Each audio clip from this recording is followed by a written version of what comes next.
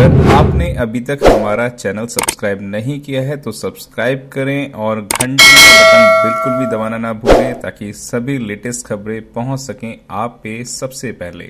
आपने बताया कि हमारा देश सोने की चिड़िया बन सकता है तो सभी पार्टियाँ अपने अपने वादा होते हैं, उनके अपने घोषणा पत्र होते हैं तो उसके बावजूद भी जब आ, सत्ता में आ जाते हैं तो उसके बाद क्यों नहीं देश सोने की चिड़िया बन पाता है? उसके लिए बताएँ और सोने की चिड़िया बनेगा तो कैसे बनेगा उसके ऊपर दोबारा से एक बार तो जो ये मैनिफेस्टो जिसकी आप बात कर रहे हैं जो। ये घोषणा पत्र लेके आते हैं घोषणा पत्र आदमी तब लेके आता है जब उसके मन में कोई चोरी होती है। उसको पता है कि घोषणा पत्र ये दोनों सरकारों के आप देख लीजिएगा चाहे वो कांग्रेस हो चाहे वो भारतीय जनता पार्टी हो इनका जो ये घोषणा पत्र है तेईस मई तक वैलिड है।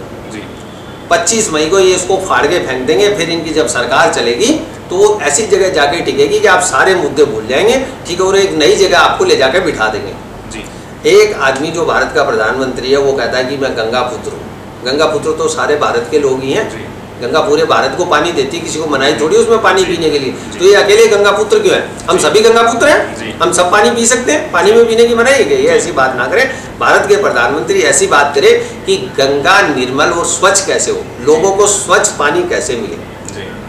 मेरा मानना है कि ये लोग इन बातों से ऊपर उठ के और ये काम करें। हम जहाँ तक बहुजन समाज पार्टी की बात है बहुजन समाज पार्टी का कोई घोषणा पत्र आपने आज तक नहीं देखा हुआ 1984 से लेके अभी तक। हमारा घोषणा पत्र यही है कि देश में संविधान के अनुसार सरकार चले शासन और प्रशासन बिल्कुल ठीक रहे।